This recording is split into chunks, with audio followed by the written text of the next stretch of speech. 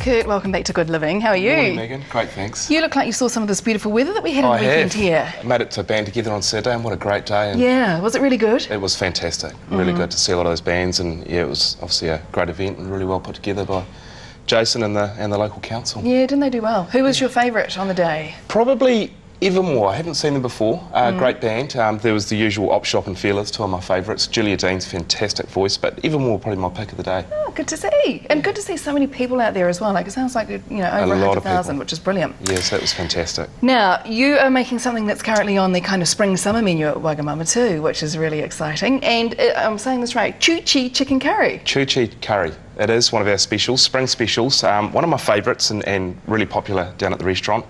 Um, Thai inspired with a Penang uh, curry paste. Oh, yummy. Yeah. Sounds good. All right, well, let's okay, get started. I'll get things started. Uh, I'm going to roast some pumpkin first. So I've got a oven on just behind me, um, quite hot, 200 degrees, just so we can get the pumpkin uh, cooked ready ahead. This could even sort of be done ahead of schedule as well, but soon I'm going to roast this. I'm going to get this cracking.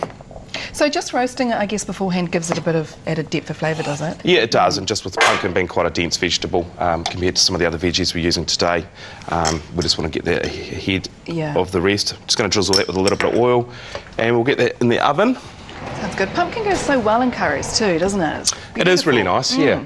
It does work well, and um, the other veggies we're going to put through that today are some courgette, red capsicum, and some nice snow peas. Oh, beautiful. And I'm going to finish that with a bit of basil. I'm going to get started on the sauce now, though, Megan. Um, I'm just going to get my pan started just with a little bit of canola oil. And like I said, it's just uh, this chu chee is a um, Penang-styled um, Thai curry. And today I've got some ready-made um, store-bought Penang curry paste, which is pretty good. Um, if you did have the time and the ingredients, certainly go to town and um, do it from scratch. Okay. It would certainly taste a lot nicer. But So what's the difference between a Penang curry paste and something like, say, you, our you know favourites like a red or a green or a massaman or something? uh, different ingredients. Obviously, there's there's um, more spice, obviously with the uh, with the um, red curry being sort of the hotter. Um, different chilies. With the Penang, it's quite a um, there's a lot more sort of uh, aroma type flavours coming Oh, through. nice. Sounds good. Quite a fruity sort of curry. Oh, okay. So just with the paste, I'm going to get that started just over a bit of a heat, just to start to sort of get some of those nice flavours going there. And then to that, we're simply just going to add um, some coconut milk and a little bit of soy, lime juice, and one of my favourite ingredients, palm sugar. Oh, that's what that looks like. That's what that looks like. Really easy to buy. It's probably in most supermarkets, certainly Asian stores. Quite hard, as we can see. Um, they get that off the sap of uh, palm trees, coconut trees, and really nice to use in, in South Asian cuisine. You can grate it, or just being careful with the knife, as you can see, it's quite hard. Just sort of break it down a wee bit. But once we add that to our, our sauce, it will um, break down Break down. quite quickly through it. Looks like it's just like a toffee or something like that. Obviously, it, that's very similar in. Um, toffee fudge, and it's funny enough, sort of got a little bit of that flavour too. A lot of a lot of caramel type flavours in it. So I don't want to burn this paste. I'm just going to get a little bit of heat started. We can see it's just starting to smelling really good too. Just starting to to break down there, and it's about at that point we can just start to slowly add our coconut milk.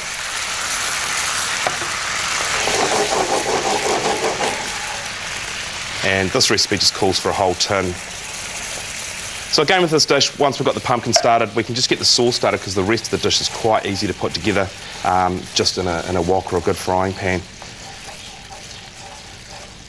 That'll boil quite quickly now, so that's when I can add my soy, just a couple of tablespoons, the palm sugar, and a couple of tablespoons of lime. So you could use lime juice or even better, fresh lime. yum. It's such an essential part of Thai curries as well. isn't Yeah, it? and that gives that, that nice little bit of citrus flavour that we're after. Mmm. Smells amazing already. So with the palm sugar, again, Kurt, we can buy this if we're making this at home. We can get it now from supermarkets. Yes, yeah, I've, I've seen it at some supermarkets, and um, yeah, like I said, good Asian stores also have that. With the veggies, just going to do um, just some nice small cuts. So I've got some courgette here and some red pepper.